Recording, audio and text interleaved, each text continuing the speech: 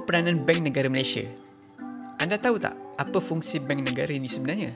Bank Negara atau Bank Rizab merupakan badan yang bertanggungjawab untuk polisi kewangan sesebuah negara atau kumpulan negeri-negeri ahli.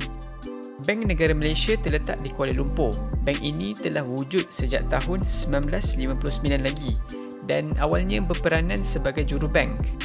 Kemudian pada tahun 1958, Akta Bank Malaysia dikaji semula sehinggalah tahun 1994. Kini, Bank Negara berfungsi untuk yang pertama, mengeluarkan mata wang negara dan menyimpan rizab bagi menjaga nilai wang.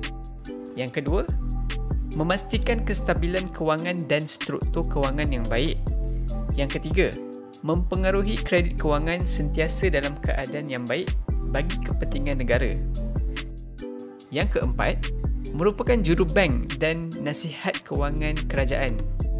Yang kelima, mengawal kadar faedah bagi segala polisi kewangan.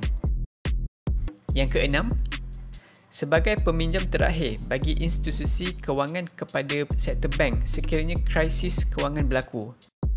Yang ketujuh, memastikan tiada penipuan atau scam berlaku melalui bank-bank dan institusi kewangan di Malaysia.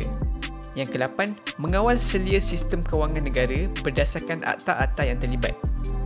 Seterusnya, Bank Pusat bertanggungjawab mengawal rapi sistem pembangunan ekonomi, sistem perbankan dan kewangan. Selain daripada itu, Bank Pusat juga sering mengadakan program bagi membantu mencapai kewangan negara dan pendidikan yang elektif untuk rakyat Malaysia.